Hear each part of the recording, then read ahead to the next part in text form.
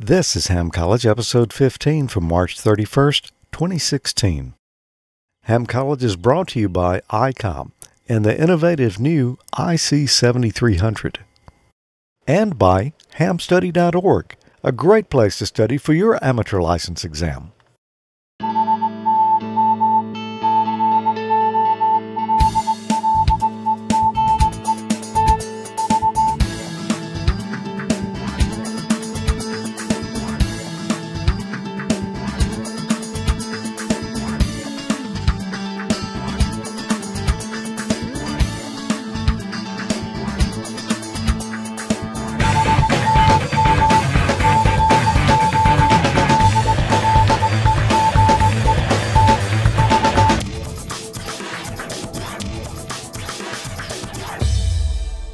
Good evening. Welcome to another episode of Ham College.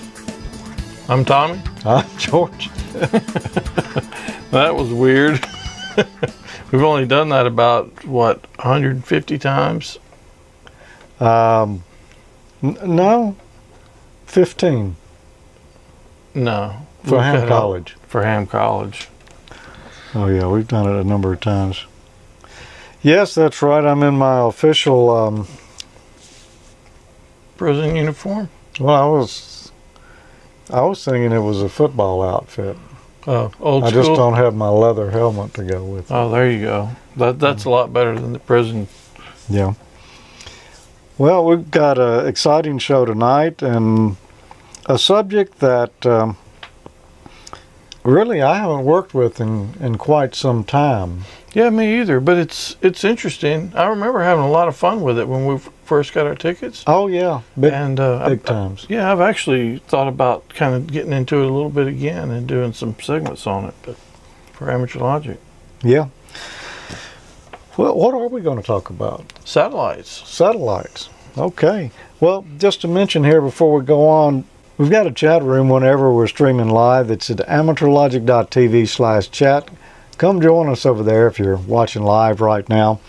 Uh, we can't really monitor the YouTube chat room at the same time, so um, join us at this one right here. And last month we talked about propagation. Remember that? I do remember That that. was an interesting show. Yeah, that was that's a tough topic too. You know who that is? No, I I have no idea. That, my friend, is Arthur C. Clarke. I'm sure you've heard of him. Uh, this is our history lesson for the month, by the way, on satellite communications. The idea for satellite communications can be traced all the way back to this guy, uh, for back to February of 1945, where Arthur C. Clarke wrote a letter to the editor of a magazine called Wireless World. In his paper, Mr. Clarke laid out his theory on satellite communications. His paper was titled Extraterrestrial Relays Can Rocket Stations Give Worldwide Radio Coverage? It was published in the magazine in, in uh, October of 1945. Boy, that is, uh, I, I didn't know that. Yeah, I, I didn't either. That's pretty interesting. Uh, Yeah. Apparently, he's a pretty sharp guy.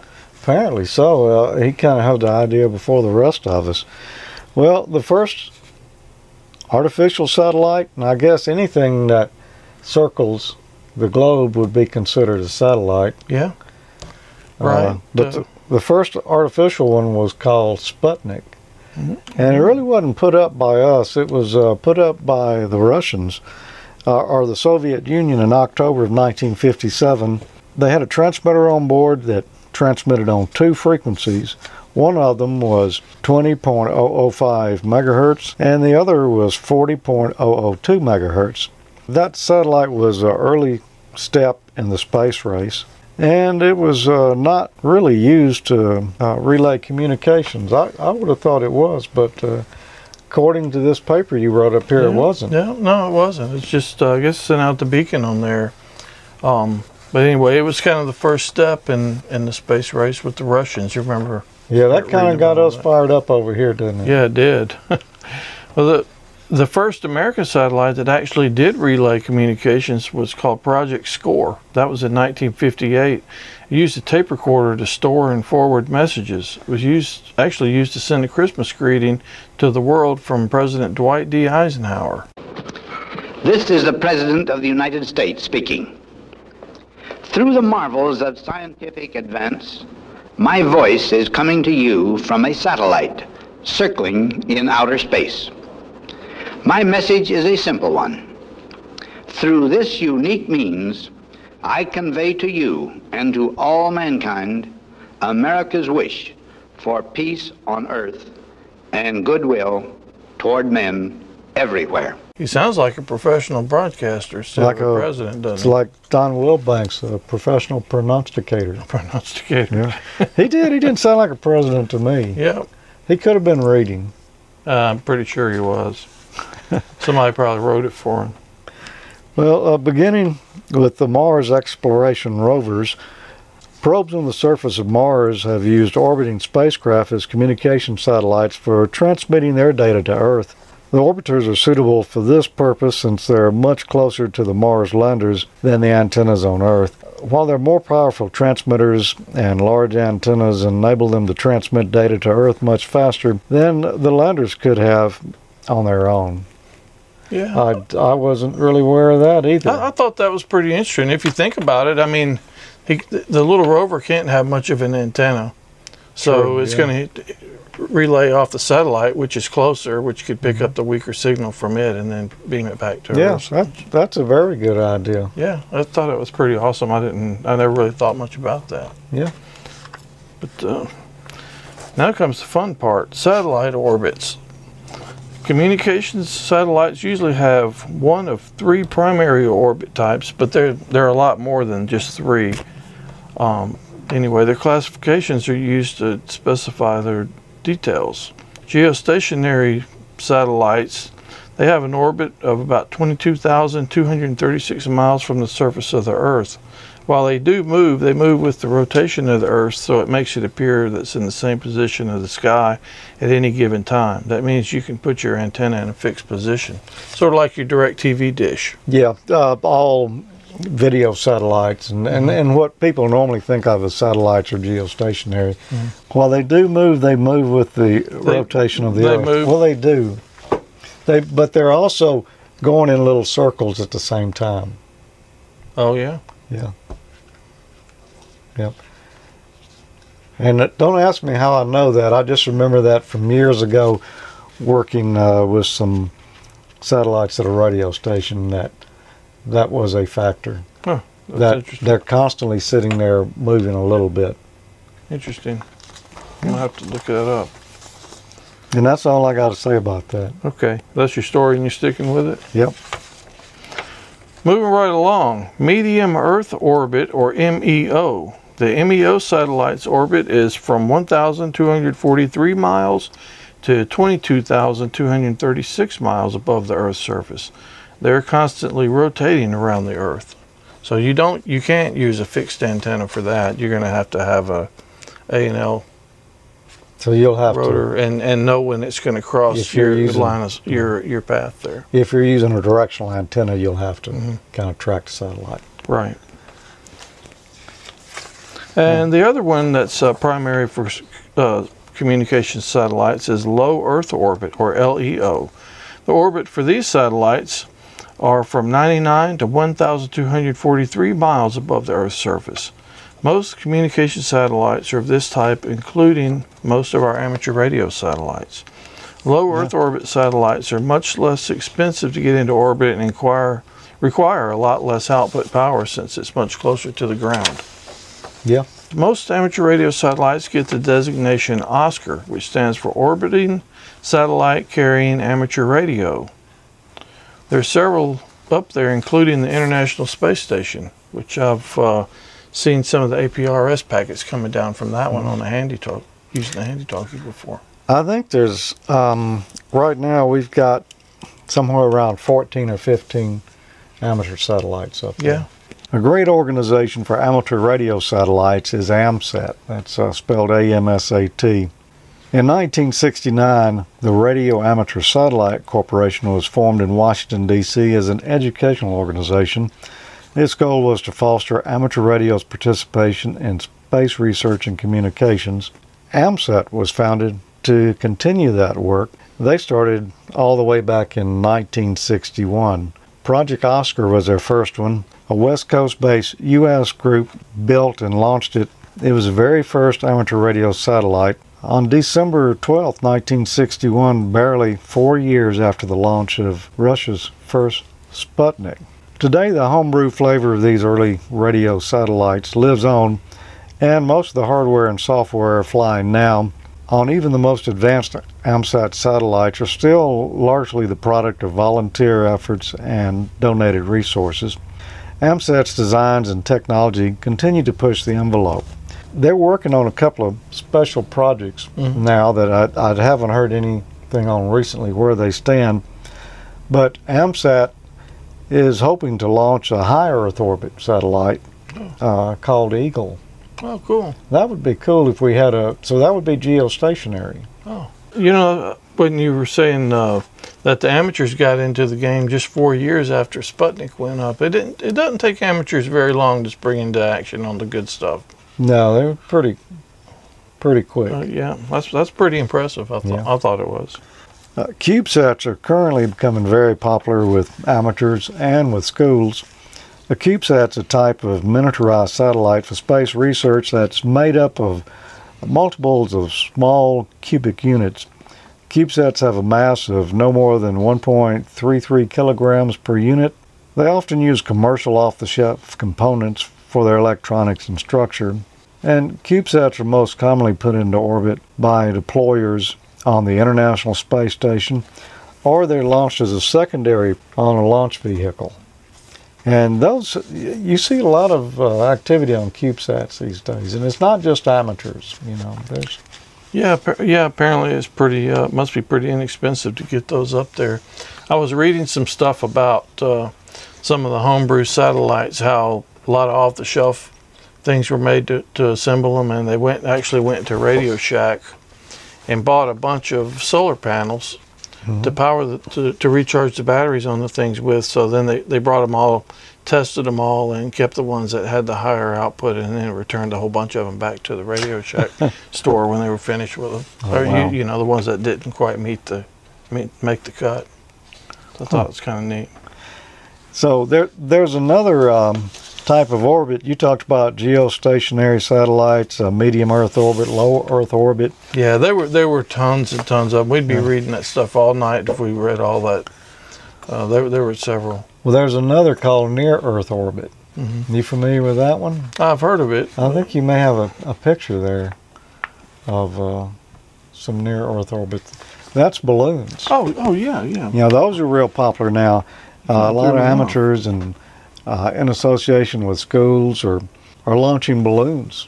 Yeah, uh, buddy Bill close by here, they were doing that for a good while. I don't, I don't think they're doing it anymore, yeah. but uh, you know, we covered a few of them. Yeah, we've got um, some of that on some earlier episodes of Amateur Logic. Yeah, and there's some guys in the Facebook group that are apparently they're actively doing this stuff right now. So mm-hmm. I've seen them post uh, post about it, and uh, I've been following a few of them on uh, aprs.fi. Mm-hmm. And it's pretty amazing how far those things would go. Some of them went all the way over, like to Scotland. If you wanted to to hear the International Space Station, you know they they've got amateur communications on there. You were telling me earlier that they don't do voice on there very often. Yeah, well, I, I read they don't turn that on very often, but primarily they have a packet station up there where they send APRS, or I guess mm-hmm. they got a mm-hmm. digipeater on there. If you want to see if you can hear it, uh, tune in on your. Well, you don't need much. You could listen with one of these right here, just a handy talkie. Yep, sure can. 145.8 megahertz, and you could possibly hear the International Space Station when it passes over. Yeah, now you're going to have to go. Uh, There's several resources yeah. online that you can track it. There are even some apps for your phone that you can track when it comes over. Mm-hmm. You remember when uh, we first got licensed and were like experimenting with like everything, and we tried. Uh, I think it was the Mir space station at the mm-hmm. time, and then uh, I believe it, if our memory is right, which is probably not. I think AO twenty one was one of the satellites that came over that had, I believe it had packet on it. But uh, anyway, we we tried those. Yeah, um, we had a lot of fun with them. We actually did yeah, did some good with them. So, yeah, uh, a rubber duck. You can uh, you can actually work yeah. it with a rubber duck. Homemade quarter wave works works really well. This would be a typical setup here for working satellites. He's got a uh, I don't know if you call that dual polarity. or if they call that I think they circle, call it an arrow antenna. circularly but, uh, polarized. I noticed two different polarizations there Mhm. on it. But uh, he's just using a handy talkie, and he's got a little Yagi antenna on it there, and Mm-hmm. You see a lot of people using those to work satellites. So it doesn't take a big, powerful station. Yeah, they they used to do that at uh, Jackson Hamfest Mhm. uh, for a while. I don't think they've done it in the last few years, but Yeah, you a lot of uh, Hamfest will have satellite demonstrations there, and that's essentially what they're using to do it with. Uh, you, like we said, you can actually hear some of the satellites with just a, a handy talkie and a rubber duck on it. If you're going to try, well, if you're really serious about it, you're going to going to get some better antennas, some Yagis or something. Some people will stack more than one together to increase the gain. If you're just going to try to listen on what you've got, though, don't use your 18 foot tall uh, high gain fiberglass 2 meter antenna to do it with. Use uh, something very plain like a, a short little quarter wave ground plane Mhm. because on those the uh, angle of radiation is so much greater, you're more likely to hear a satellite. When you go with a high gain antenna, what they're doing is narrowing down the beam width of it. right, So the satellite, when it gets right over you, you're not going to hear it. yeah, it's pretty in a null, pretty Yep. much. We're we're not r- real big satellite guys these days. We don't don't operate it as much as many folks. That's their primary mode of, Mhm. of operating ham radio. So there's a, a lot more on the subject that you could learn by doing some searching on the internet or Yeah, check with some local clubs. yeah, You'll find somebody who's really into it and can steer you the right direction if you want to get into Yeah. satellites. You remember our buddy uh, George too, Yeah. NC5Y. Mhm. Yeah, he was really big into it. It was a lot of fun to go by there and learn from him. Yep. Well, I tell you what, before we uh, get on into the rest of the show here, let's take a little break and then we'll come back and we'll give away something. All right. The wait is over. The IC7300 is here. ICOM's new innovative HF transceiver will far exceed your expectations for a radio considered entry level. The 7300's RF direct sampling system is an industry first. It departs from the conventional superheterodyne system. RF signals are directly converted to digital data. Digitizing the RF before various receiver stages reduces inherent noise generated from different IF stages. A large 4.3 inch color touchscreen promotes intuitive operation and functions like the waterfall, which displays high level performance in resolution, sweep speed, and dynamic range. The audioscope function allows you to observe various audio frequency, transmit, and receive characteristics, and a high resolution real time spectrum scope includes a new magnify function. Other great IC7300 features include RMDR and superior phase noise characteristics, 15 discrete bandpass filters, and more. Visit icomamerica.com/amateur and learn more about the new ICOM IC7300. We said we were going to give away something. Let's. How about if we give away one of these uh, cool ICOM caps and an ICOM Ham Crew T-shirt? Okay, why don't so we do that? whoever whoever wins this is going to be looking just as good as the last guy last month that won one too. Yeah, if you'd like to win one, then all you need to do is send us an email to hamcollege at amateurlogic.tv. And you could win one. And, and as usual, we haven't drawn a winning entry yet, so So yeah, I'll do that right now. yeah, business as usual. Tommy N5ZNO is the winner. Now, That wasn't it. now our winner, I've got one here. Okay, we got it. This comes um, from Johnny R. He says, I'd like to be entered into next month's episode 15 for the ICOM t shirt and hat. Also, thanks for the videos and other sources. I'll be taking my technician test tomorrow, and I know I'll pass. Awesome. And wow, he sent this today. Really? Yeah. Awesome. Cool. Way to go. So, um, Good luck, Johnny. Yeah. I'm sure you'll do well. Yeah. Just send an email to hamcollege at amateurlogic.tv and you could win. Okay, Tommy, I got a question here just for you. All It's right. got your name on it. Maybe I can see it. And the questions tonight are going to be believe it or not, on amateur satellite communications. No, Yep. seems to be a running theme. Yep. So, how much transmitter power should be used on the uplink frequency of an amateur satellite or space station? A. The maximum power of your transmitter. B, the minimum amount of power needed to complete the contact. C. No more than half the rating of your linear amplifier. Or D, never more than one watt. Okay, so I'm going to go already scratch D off right now because uh, never more than one watt. That's some most cases that's probably not going to cut it. Yeah, and what if you don't have a linear amplifier? Yep, never C. So that's that actually going to rule C out. Uh, B, the minimum amount of power needed to complete the contact. Well, that's that's the general rule for communications on pretty much anything. On We- amateur radio, On amateur yeah. radio. So we've Mhm. covered that a lot. Then A is the maximum power of your transmitter. So that's uh, that's while some people think that's the minimum amount of power Well, it is when you're mobile, when you're mobile. according to our Elmer. Yeah, so, but uh, I'm going with B on that one. The minimum amount of power needed to complete the contact, which is like we said, is the general rule on amateur radio, period, across the board. Yeah, I think you're right. Everybody in the chat room does too. There you go. The minimum amount of power needed to complete the contact. I nailed it. All right, you ready for your question? Yeah, All right. hit me with your best shot. Okay. Which of the following are provided by satellite tracking programs? A.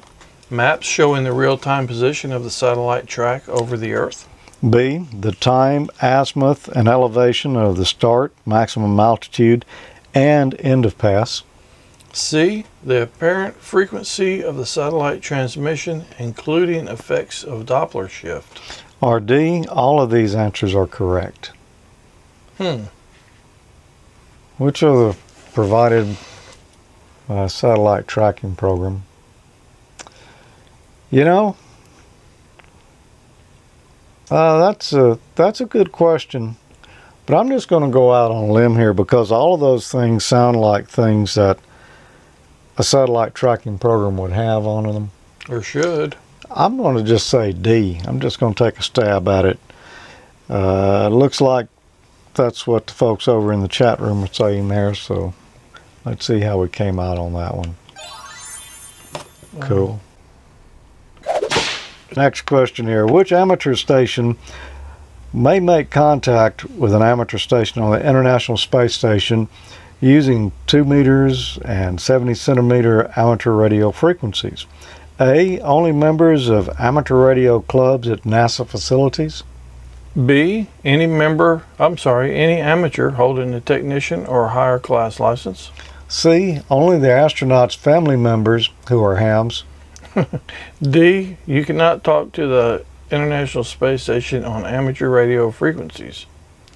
And this one's mine, so I know D is incorrect. I just know it.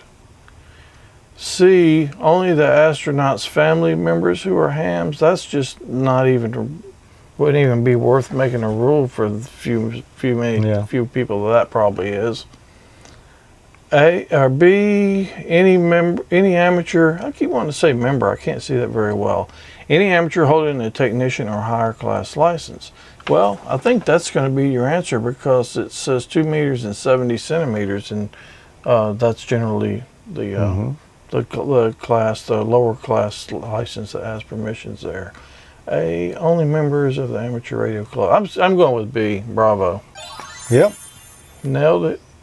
Chalk up one more for Team Tommy. Chalk it up. Okay, next question. What is a satellite beacon? And that doesn't say bacon. Okay. Oh, Yeah. yeah. When you don't have when you don't have some of these at work at that distance, it could be bacon. So what is a satellite beacon? A, the primary transmit antenna on the satellite. B, an indicator light that shows where to point your antenna. C, a reflective surface on the satellite. Or D, a transmission from a space station that contains information about a satellite? All right, this one's mine to answer here. Well, let's see. The primary transmit antenna. No, antenna's not called a beacon. Uh, a light on top of an antenna could be called a beacon. Could be. Yep. Uh, B, an indicator light that shows. No, it's not an indicator light. C, a reflective surface on the satellite. No, you're not going to see the satellites reflecting standing down here on Earth. D, a transmission from a space station that contains information about a satellite. That's going to be your answer. That's what everyone is saying over here in the chat room. I'm going to go with that. And there we go. That a beacon when we're talking amateur radio terms, it, you know, a beacon is a flashing light on a tower, Mhm. but in amateur radio terms, when we're talking about a beacon, we're talking about a transmitter that's just sitting there broadcasting a message over and over. It Not doesn't listen at all. anything back. Yeah. So there you go. What But, is uh, a satellite Kevin in the chat room says bacon's better. Bacon does taste better. Yeah. Beacons are usually tasteless. we'll be back in just a minute for with some more questions, but first take a look at this. Are you new to the ham world or an existing amateur operator who wants to take your license to the next level? Study for your radio license exam at hamstudy.org. Hamstudy.org is a free online learning tool powered by ICOM. It was created by Richard Bateman, KD7BBC, Michael Stufflebeam, KV9G, and Rich Porter, KK6GKE, and it uses a modern web design to enhance the experience of studying for your technician, general, and amateur extra exams. Since 2013, hamstudy.org has helped new and existing hams to familiarize themselves with the question pools, use stats based flashcards to focus on material they need to learn, and take practice exams to gauge progress. Visit hamstudy.org on your desktop computer or mobile device. Register for a free account at hamstudy.org to access personalized study history and other site features. Prepare for an exam in an intuitive and comprehensive manner. Check out hamstudy.org, powered by ICOM, for free learning tools. Good luck on your next exam.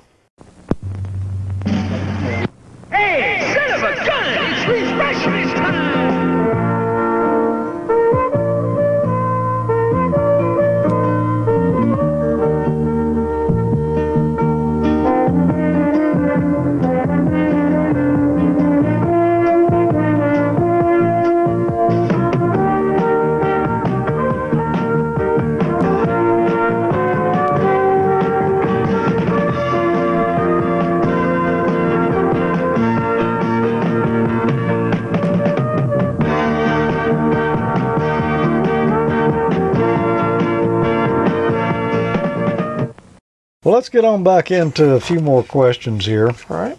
And the first one Which of the following are inputs to a satellite tracking program? A. The weight of the satellite. B, the Keplerian elements. I'm sure I butchered that up. I'm glad you got that to read that. C. The last observed time of zero Doppler shift. D, all of these answers are correct. Whose turn is it? It's your turn. My turn? Yeah. Okay. I picked this one out especially Uh, for you. D, all these answers are not correct. C, the last observed time. Why, why would you put that in the satellite tracking program? And the weight of the satellite is totally irrelevant for the satellite tracking program. And I just so happen to run satellite tracking program before, so I know it's B. But the others don't make any sense either. So So you're saying it's B. I'm saying it's B. So you're saying there's a chance. Yep. You got it. All right.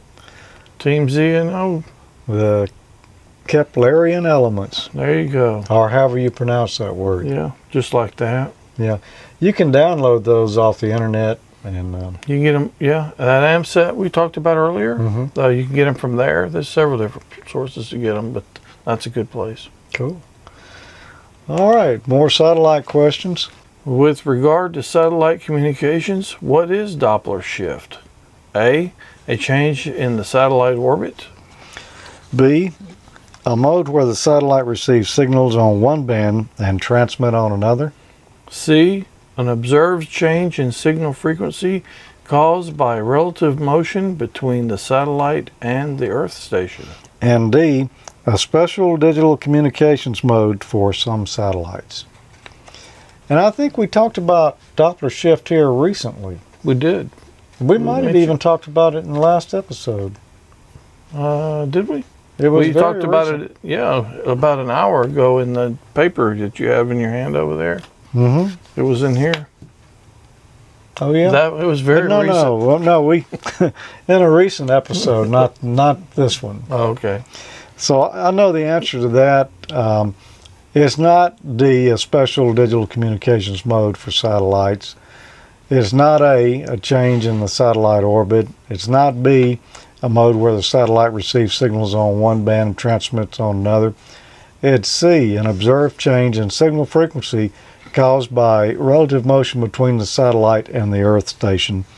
And you know, we talked about that. We were talking about a uh, a train horn recently. Yeah. Oh, what- Oh, yeah. We sure did. We Yep. sure did. Now you say that, I remember that. So so there we go. It is C. You know, as as a train is approaching, you hear one pitch of horn, and as it passes by you, that frequency drops. Yeah, that's an interesting phenomenon. Yeah. Same thing happens at radio frequencies. Yeah. That is, that is real interesting. It's really kind of a pain too if you're trying to work the satellite. Yeah. And you know how how best to handle that? There there's a, if you can get to the VFO easily on your radio, you can turn it as you go. If not, then you program in the memories of your radio a bunch of frequencies right side by side and you could just step through those memory presets as it goes. Yeah. Or you uh, have your nice software in your A and L beam, and the software that's controlling your radio mm-hmm. follow it as it goes across the horizon. And you're going to create that next month with the Raspberry Pi. Is that Yeah, and two coat hangers. Okay, next question here. What is meant by the statement that a satellite is operating in mode UV? A, a satellite uplink is in the 15 meter band and the downlink is in the 10 meter band. B, the satellite uplink is in the 70 centimeter band, and the downlink downlink is in the two meter band. B, the satellite operates using ultraviolet frequencies. D, the satellite frequencies are usually variable. UV, usually variable. I don't think that's. I don't know. I just don't think that's going to be it. I'm not really familiar with that term, no. And I don't think it's in ultraviolet frequencies either. So I'm going to go ahead and scratch out C and D right there off the bat. Okay. And uh, satellite uplink is in 15 meter band. I was, it's going to be B. Bravo. The satellite link is in the uplink is in the 70 centimeter band, which would be the U since that's UHF, and the downlink is in the two meter band, which is the V, which is in VHF.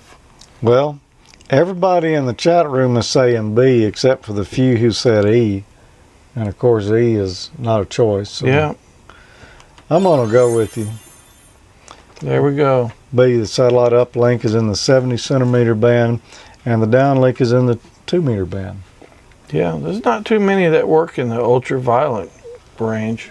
Yeah, and I don't know of any that really work in the 15 and 10 meter bands. Not a um, not a low Earth orbit, a uh, near Earth orbit. You might have some HF frequencies on those, Yeah. but uh, and that would be a balloon. Like Jocelyn in the chat room said, if it were 15 meters, that would be one big antenna up there on that thing. That would be. Yeah. Yep. What causes spin fading when referring to satellite signals? A. Circular polarized noise interference radiated from the sun. B, rotation of the satellite and its antenna. C. Doppler shift of the received signal. Or D, interfering signals within the satellite uplink band. And E. I'm glad this one is yours. Okay. Oh, I think I got a hunch I know which one may be. What causes spin fading when referring to satellite signals. A circular polarized noise interference radiated from the sun. No. Um, when we've got interference radiated from the sun interfering with the satellite, that's normally a sunspot. Mhm. Sunspots, but um, which Flare. yeah. B, the rotation of the satellite and its antenna. That's that's going to be it because the satellite is sitting there spinning. Do you know why it's sitting there spinning? To maintain its polarization. To keep from uh, burning out the solar cells, keep them from getting too hot. Ah, Yep. C, Doppler shift of the received signal. No, that's not it. And D, interfering signals within the satellite uplink band. Nope, it's B, rotation of the satellite and its antennas. And that's what they were all saying over in the chat room. So, bam, there you go, B. you nailed it, man. Way to go. Okay, No buzzer yet. no buzzer yet. What's up Uh, with that? I don't know, man. We're just um, lucky. All right, one more here. What do the initials LEO, LEO, tell you about an amateur satellite? A, the satellite battery is in low energy operational mode. B, the satellite is performing a lunar ejection orbit maneuver. Man. C, the satellite is in a low Earth orbit. Or D, the satellite uses light emitting optics. Now, this isn't really fair for me to to answer this one because I know the answer because I sat there and I did all this research for the Mm-hmm. history lesson. So I already know that the answer is going to be uh, low Earth orbit C, but uh, the others D doesn't really make any sense. Light emitting optics, Yeah. lunar ejection orbit maneuver. That sounds plausible. Not really. Yeah, I've never known the lunar to eject yet. No. Some of these things they come up with on here are pretty funny. Yeah. What is a commonly used method of sending signals to and from a digital satellite? A. USB AFSK. B, PSK 31. C. FM packet. Or D, WSJT. Well, I know the answer to this one just because I know it, Because you've done it. because I've done it, and this was primarily one of the very few ways that you could communicate with a satellite back when we first started doing it Mm-hmm. uh, back in the 30s, Speak for yourself. back, back in the 90s. I'm still a youngster. Yeah, it's C, FM packet. Um, packet radio, where you use a TNC with the radio and uh, usually a computer. That's always broadcast over FM. Uh, if you think about it a little harder, you know, we were talking earlier about you can use a handy talkie to receive satellites. I haven't seen a any two meter or UHF handy talkies that have USB on them. Uh, they don't have PSK 31 on them. They don't have uh, WSJT. All of these operate on FM. Mm-hmm. So Primarily. that that tells me one thing. It's FM because um, that's most two meter and UHF radios operate on FM. You can operate uh, other modes, upper sideband and lower sideband with them, but typically they always do FM. Uh, uh, so that's my answer, and I'm sticking with it, whether it's uh, All right. good logic or not. There you go. Everybody in the chat room was saying that it's C as well. So. Yeah. It's uh. Yep. Next question. What is the FCC Part 97 definition of telemetry? It's A, an information bulletin issued by the FCC. B. A one-way transmission to initiate, modify, or terminate functions of a device at a distance. C, a one way transmission of measurements at a distance from the measuring instrument. D. an information bulletin from a VEC. Okay, so this one's mine, and telemetry is not in any way related to a VEC, so let's go ahead and take D off the list right now. Okay, I'll agree. Okay, and let's just start from the top. An information bulletin issued by the FCC, same same thing. No, it's not telemetry. A one-way transmission to initiate, modify, or terminate functions uh, device. Uh, a one-way transmission of measurements at a distance. I, I'm going with C. Telemetry is, uh, in my mind, is a packet of data that's sent out from over the air to read uh, the, basically the status, the voltage, or whatever. And it's where it one way. coming from. One way. Yeah, it's not expecting anything in Yeah. So return. I, don't- I don't. Th- yeah. yeah, yeah, I'll agree with you. Okay. One-way transmission of measurements at a distance from the measuring instrument. Now, this wasn't specifically a satellite question, but it's related to satellites, and that's well, they they do send out some telemetry. Mm-hmm. So yeah, but it's not exclusive to satellites. No. Other right. telemetry could come from from any source, but telemetry would be like uh, metering or measurements or something like that that you're receiving. Mm-hmm. Yeah, some uh, interesting stuff came from those balloons we were talking about that Bill used to hmm set off over here at the school. Remember the telemetry? Yep. You could follow that stuff. Had the position, the out, the altitude, how fast it was traveling. Yeah, temperature, the voltage hmm of the batteries on there, everything. It was it's pretty neat stuff. What is the FCC Part 97 definition of telecommand? A. An instruction bulletin issued by the FCC. B, a one-way radio transmission of measurements at a distance from the measuring instrument. C. A one way transmission to initiate, modify, or terminate functions of a device at a distance. Or D, an instruction from a VEC. It's almost like deja vu. Yeah, it is, except it's the exact opposite. Mhm. So, what is FCC Part 97 definition of telecommand?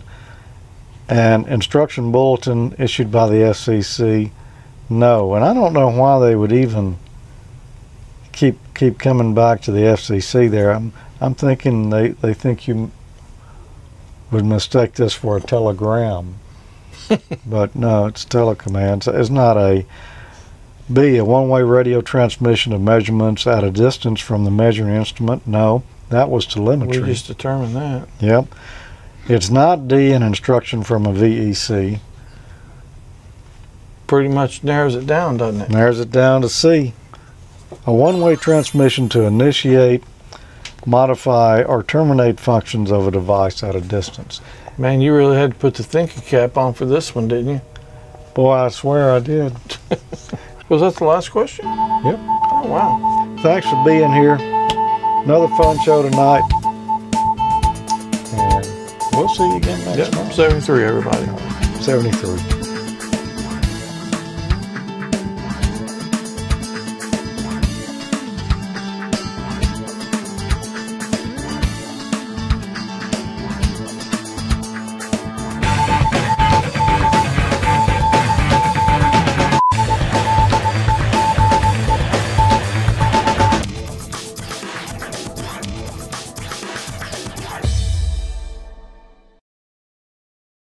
I just noticed uh, Mike told Arnie that I'm wearing my uh, Oh Brother Where Art Thou costume.